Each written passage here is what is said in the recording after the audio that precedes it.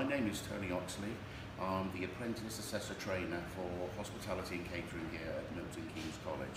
So my role is I look after the apprentices, uh, the apprentices that are working out within the industry. Uh, my background industry is I started out when I went to college. I went to college for three years in Coventry and I joined the industry at a very early, at young age of 18 and I worked with a small independent chain of restaurants and hotels. And from there, within 20 years, I worked myself up to being a head chef and director of a small chain of hotels. And how the course runs is that you will attend college one day a week, where there will be a four-hour skill session within the kitchen with myself, where I will actually demonstrate dishes and then you go away and prepare it and cook it. And from that skill session, what you're doing is that you're evaluating what you're doing and how you're preparing it, what went well, what didn't go so well, and even better if.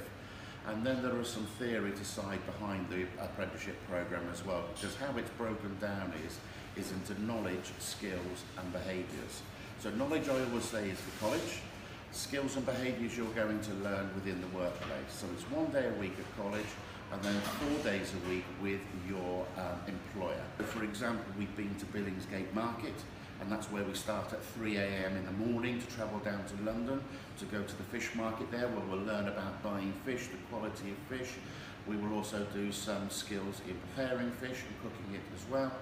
Uh, we have contacts within the industry as well. So, for example, I took my apprentices down to London a couple of months ago and we had a tour of Tom Kerridge's Bar and Grill at the Corinthia Hotel and also we had a kitchen tour at the Ritz as well. The people that inspired me to become a chef, and this is a lot of people and probably a lot of chefs within the industry as well, is my grandmother. And my grandmother made the best cottage pie and always when she made it we had cabbage and I had it with mint sauce. So if that was ever going to be my last dish that I could ever eat, I would definitely say my grandmother's cottage pie with the boiled cabbage as well.